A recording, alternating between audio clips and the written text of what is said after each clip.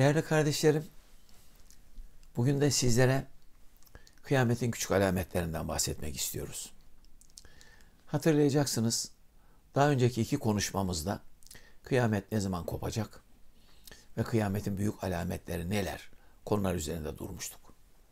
Bildiğiniz gibi bu konu gaybi konulardandır.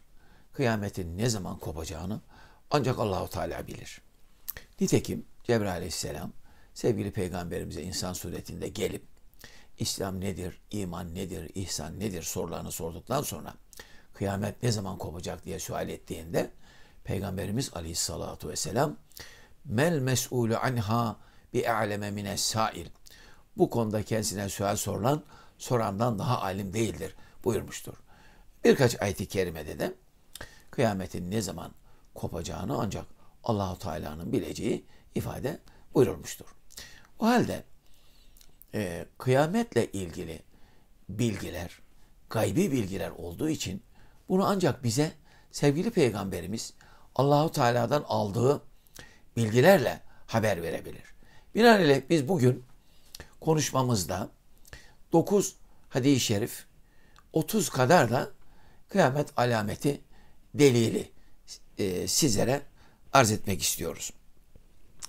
İmam Ahmet'in müsnedinde ve Taberani'nin El Mucemül Kebir'inde zikrettiğine göre Peygamberimiz sallallahu aleyhi ve sellem kıyamet alametleri bir ipteki boncukların peş peşe kopması gibi birbirini takip ederler. İmam Ahmet şu hadis-i şerifi zikrediyor. Çeşitli isimler altında şaraplar çıkacak, helal sayılacak. İmam Beyaki şu hadis-i şerifi zikretmiştir. Çalgı her yere yayılacak, güvenlik güçleri çoğalacak. Dördüncü olarak yine İmam Beyhaki'nin Es-Sünel Kübrası'nda geçen bir hadis-i şerif. Kötü kadınlar çoğalıp fuhuş bir toplum içinde yayılırsa halk daha önce görülmemiş mesela frengi, AIDS gibi bulaşıcı hastalıklara maruz kalacak.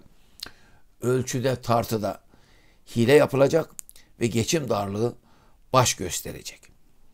Taberen'deki bir diğer hadis-i şerifte tahiyyetül mescid namazı kılınmaz olur buyuruluyor. Tergib-u salattaki bir hadis-i şerifte Kur'an mesela radyo, TV gibi çalgı aletlerinden okunacak buyurulmuştur. Deylemi'de ulema halkın istediği yönde fetva verip helale haram, harama helal derler. Kur'an'ı ticarete, menfaate alet ederler buyurulmuştur. Yine Deylemi'de bir tehlikeye işaret ediliyor. Bir camide binden fazla kişi namaz kılacak fakat işlerinde bir tane mümin bulunmayacak. Riyadun Nasi'ndeki hadis-i şerifte ise şöyle buyurulmuştur. İnsanlar yalnız malın, paranın gelmesini düşünecekler. Helalini, haramını düşünmeyecekler. Bu dokuz hadis-i şerifi naklettikten sonra şimdi hadis-i şeriflerle bildirilen kıyametin diğer küçük alametlerine temas edelim. Emanete riayet kalkar. Veledi zina çoğalır. Çok içki içilir. Zekat verilmez. Hanıma uyulup anneye isyan edilir. Erkekler ipek giyerler. Erkeklere ipek ve altın haram. Zararından korunmak için bazı insanlara müdahara edilir. Gençler fasık olurlar. Daha önce yaşamış alimler cahillikle suçlanırlar. Tefecilik, faiz aşikare olur. Bilgi veya alim denilenlerde zerre kadar iman olmaz. İslam'a uymak ayıp sayılır. Herkese iyilik eden Müslüman ahmak sayılır. İslam'a uymak ateşi elde tutmak gibi zor olur. Mescitlerde, toplantılarda fasıkların sesi yükselir. Cihat terk edilir. Bidatlar yayılır. Günaha teşvik artar. İyiliğe mani olunur. Emri bil maruf ve nehyanil münker kalkar. Komşuluk kötüleşir. Camilerde Kur'an-ı Kerim teganni ile okunur. Aşağı kimseler cemiyette söz sahibi olurlar. Zararından korunmak için insanlara ikram olunur. Çalgı aletleri çoğalır, her yerde çalgı çalınır.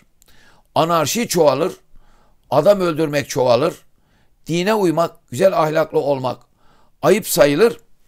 Cansızlar da konuşur. Efendim başka hadis-i şerifler de var. Başka küçük alametler de sayılıyor. Bugün müsaade ederseniz biz bunlarla iktifa etmiş olalım. Hoşçakalınız efendim.